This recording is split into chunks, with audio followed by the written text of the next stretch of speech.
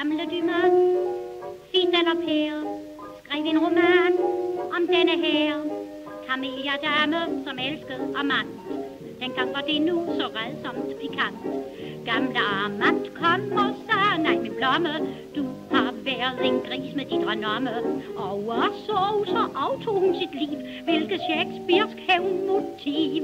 Stakkels Marguerite med sin Camelia var jo for så vidt sin tid Sofia. Hun gik ganske vist nok ikke just i kloster. Nærmest tvært om, hvis det passer, hvad man forstår. Stakkels Marguerite, hun måtte visne efter et om dit, som gik i krisene. Med list og kogesprit gjorde ende på den falmede markerit.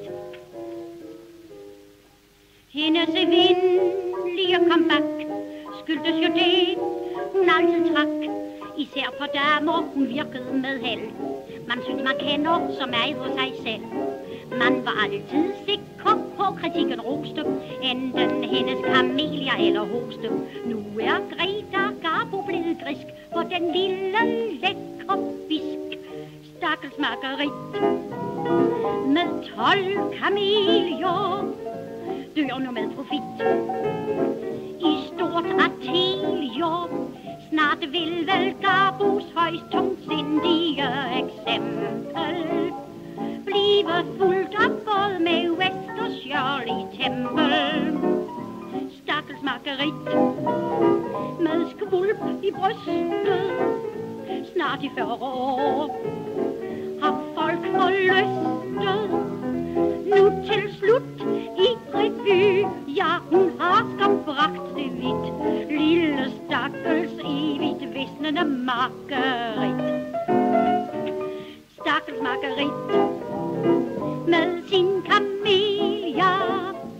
I hvor du har lidt, tager alle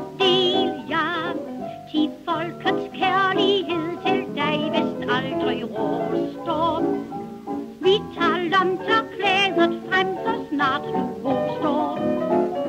Stakkels Marguerite, i sorgens klæder, lige så højt og stridt, som du vi græder.